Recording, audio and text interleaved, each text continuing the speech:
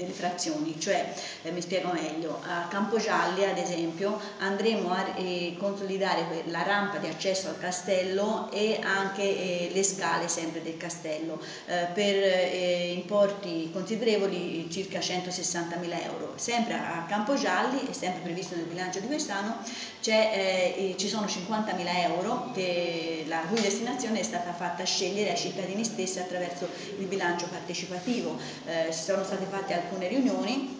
e su queste riunioni i cittadini hanno proposto delle opere e dopo le hanno votate. Hanno deciso di ristrutturare quello che è il parco delle rimembranze, eh, cioè quel parco dove eh, ogni albero è dedicato eh, a, ad un caduto.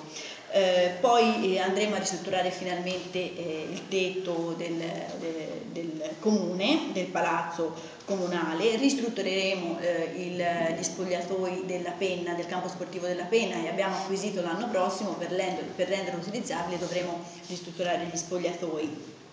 Poi faremo gli interventi sul parco, eh, parco pubblico attrezzato eh, per la riqualificazione e eh, altre piccole opere, eh, ad esempio ehm, alla frazione di Monticelli andremo a eh, realizzare una tettoia eh, nel, nei locali del circolo che è da tempo che ci viene richiesta dai cittadini e che darà una risposta eh, all'associazione e ai cittadini